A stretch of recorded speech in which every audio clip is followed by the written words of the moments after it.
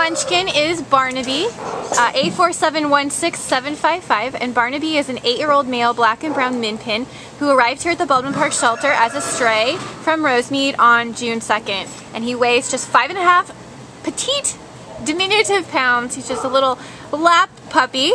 Uh, and he is available here at the Baldwin Park shelter. Anna, what can you tell us about Barnaby?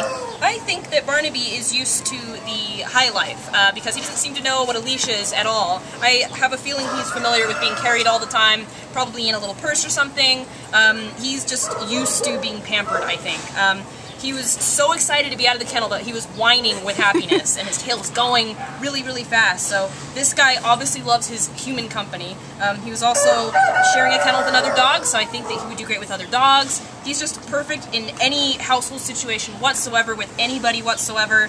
He acts much younger than his age of eight years. He seems like he's a young dog inside. Happy boy. Yeah, so uh, he's ready for anything you're ready to give him. But, uh, you know, he's just wonderful and loves his company and will be perfect to just sit and cuddle with. He's quite the little snuggler, absolutely. So this is Barnaby. Please come meet him here at the Baldwin Park Shelter. At only five and a half pounds, surely you have room in your home for him.